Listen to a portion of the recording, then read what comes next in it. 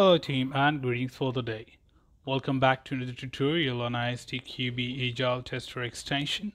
We are in chapter 3. We are looking at 3.4 tools in Agile projects and the next topic in this is test design, implementation and execution tools. So you should not be very surprised to look at this option or this topic because from the foundation we already know about these tools and we have been through such understanding that what these tools can be useful for you within the testing lifecycle. But moreover in Agile as well we do have certain support from the tools which helps us to manage the data, maybe execute the tools or execute the test, manage the reports or also help you to prepare your test data.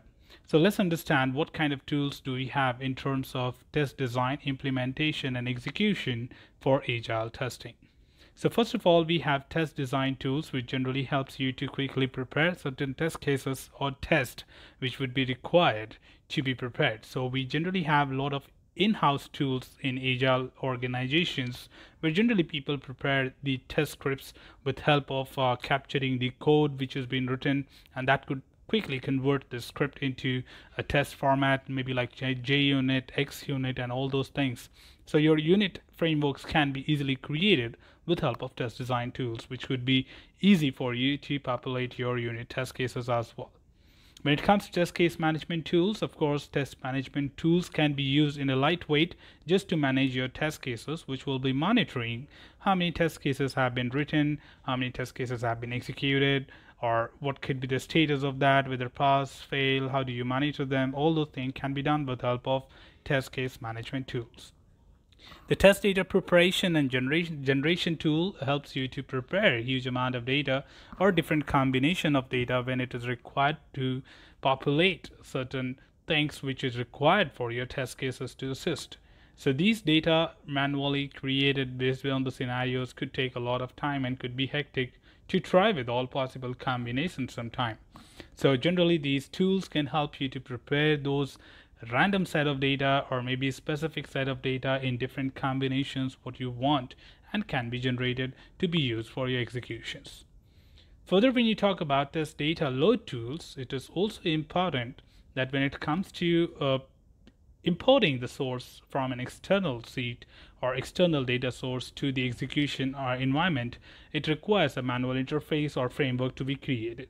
Rather, you can also have certain test data load tools which requires a simple authentication to extract information from an external tool and import to the test execution tool as well. So these kind of tools are called as test data load tools. Automated test execution tools I don't really think I have to tell you something more about this. You will be already knowing a lot of automation testing tools, which generally automates your manual testing, where a script is required to be written and the manual intervention will be minimized or lost completely, where the entire activity will be done with help of automation scripts and all your activities will be automated with help of automated test execution tools. So generally in Agile specific, we do have different approaches as you know from the previous tutorials like test driven, behavior driven, acceptance test driven. So there are tools in the market which can assist or accommodate these kind of environments as well and allow you to perform the same.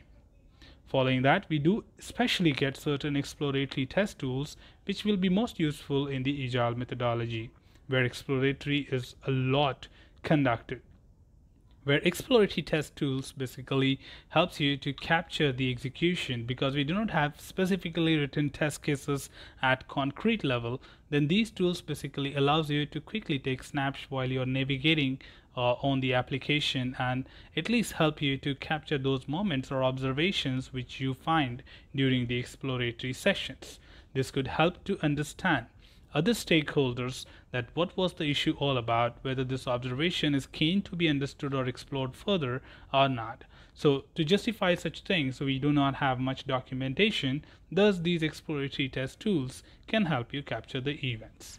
So that's all from this particular tutorial team.